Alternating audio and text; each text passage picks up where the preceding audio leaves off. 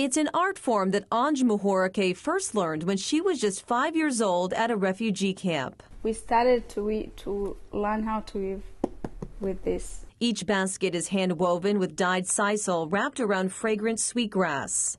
This is the traditional basket. The craft came back into her life many years later when she moved to the United States. I remember when I was uh, at airport, when I was about to come here, my mom gave me the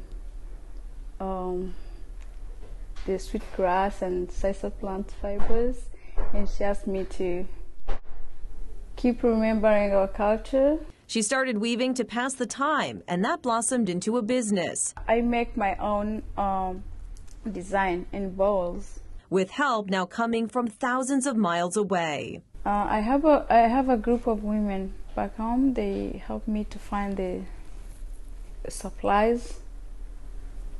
Then they send them here. Me and my mom we weave, and there's other women here and men help us to weave. Muhorakeye says it's extremely important for her to give back. Back home, eh, a lot of women knows how to weave, but they don't make money, enough money from this. Her goal is to change that with these beautiful baskets. The balls, they are easy to make for me because they are my favorite ones. And it's already working.